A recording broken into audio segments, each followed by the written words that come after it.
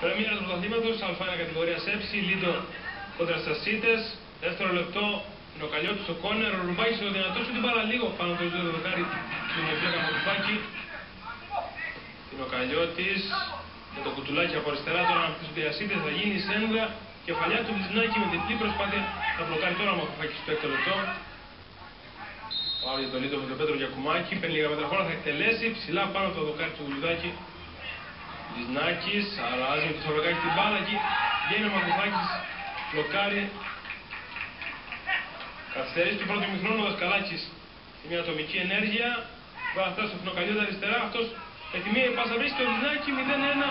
Τον επεκτής επιθετικός με ψύχρεμο πλασέ μέσα στην περιοχή, δίνει το προβάδισμα στην ομάδα Βασίλη Καραΐσκου στο δεύτερο λεπτό του καθυστερήσεως και ταυτόχρονα το τελικό στήριγμα του πρώτου μηχρόνου από το Ελπίκο Κινάκη, εδώ ο σκόρερ με τον Βασίλη Καραΐσκο και τους συμπαίκτες του πανηγυρίζει την επέτευξη του 0-1.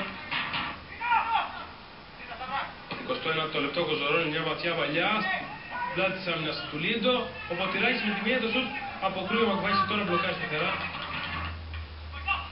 Ξανά οι Ασίτες, ο Φινοκαλιώτης θα κάνει το σουτ την μπάλα λίγο out, προσπάθησε να περάσει την μπάλα πάνω από τον Μακβάκη το 72. Να πάρω τώρα τον Φινοκαλιώτη, μπάλα στο οριζόντιο, εδώ κάνει και out. Καταρχήν θέλω να δώσω συγχαρητήρια στα παιδιά του Λίντου, έχουν ταλέντο, είναι καλή ομάδα. Όπως και εμείς είμαστε καλή ομάδα, αλλά εμείς είχαμε πολλά προβλήματα σήμερα και ειδικά τα περισσότερα παιδιά που ήταν και στον πάγκο ήταν τραυματίες. Βέβαια πάντα υπάρχει δυσκολία της Πρεμιέρας. Σημασία ότι περάσαμε νικηφόρα, είχαμε ευκαιρίες να κάνουμε και άλλα γκολ. Αλλά ε, το γύρισε, είναι μερικοί έμπειροι παίκτες που παίξαμε έξυπνα στο δεύτερο μήνυμα και κρατήσαμε το 1-0. Ε, πιστεύω ότι δίκαια κερδίσαμε. Ε, τώρα συνεχίζουμε. Ήταν Πρεμιέρα.